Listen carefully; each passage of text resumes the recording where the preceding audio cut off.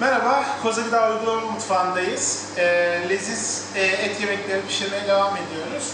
Sıradaki reçetemiz kızarmış tavuk parçaları. Ee, burada biraz Asya lezzetlerini, Hint lezzetlerini ön plana çıkardık. Ee, tavuklarımızı lezzetlendirmek için tavuk parçalarımızı bir gece önceden Madras köri ezmesiyle lezzetlendirdik. Madras köri ezmesi 7-8 farklı baharattan oluşan acı biber ve kimyon lezzetlerinin ön planda olduğu e, yağın içerisine hapsedilmiş bir baharat karışımı.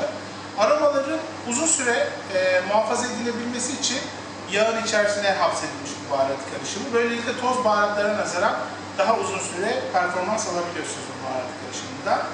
Ee, yine bu ailede pek çok farklı baharat karışımı var Koza Gıda'nın ithal ettiği. Ee, korma, e, tikka masala, garam masala, tandori baharatı gibi. Ee, önceden de söylediğimiz gibi tavuklarımızı bir gece bu karışımda marine ettik. Ertesi gün marine ettiğimiz tavuk parçalarını soteledik ve soğuması için bir kenara ayırdık. Daha sonra tavuklarımızı kaplamak için tempura unu dediğimiz bu malzemeyi kullandık. Tabi bu şekilde baktığınızda undan herhangi bir farkı yok. Yalnız bu üretim esnasında bu unun içerisine e, yumurta tozu ve bir takım kabartıcı malzemeler ekleniyor. Bu şekilde bu unu soğuk suyla karıştırdığınızda elde ettiğiniz hamuru kullanarak istediğiniz pek çok şeyi kızartabilirsiniz. Bu e, ince dilimlenmiş balıklar olabilir, karides olabilir, midye olabilir, şimdi yaptığımız gibi tavuklar olabilir.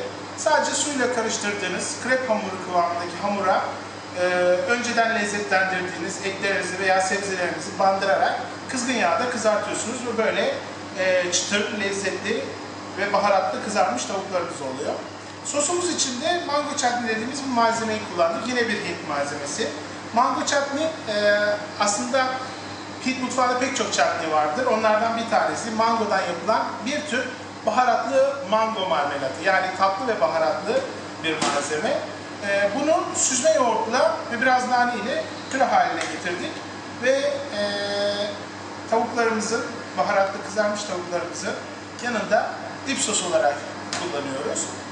Ee, bu reçeteye ve daha buna benzer pek çok reçeteye ulaşmak için e, internet sitemizi ziyaret edebilirsiniz. www.kozamutfak.com.tr ee, İyi günler, afiyet olsun.